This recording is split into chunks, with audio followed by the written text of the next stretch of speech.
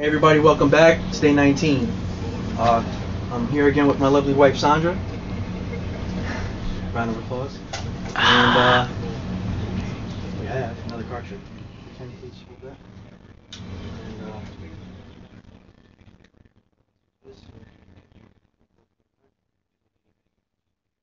Alright. of course, you have to start with the old traditional shuffle. Give her a couple of cuts.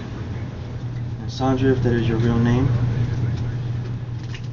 When we get to this part, I just want you to say stop anytime you want. Stop. Stop right there, you sure? Mm -hmm. Positive? You right-handed or left-handed? Actually, uh, yeah, take a look at it.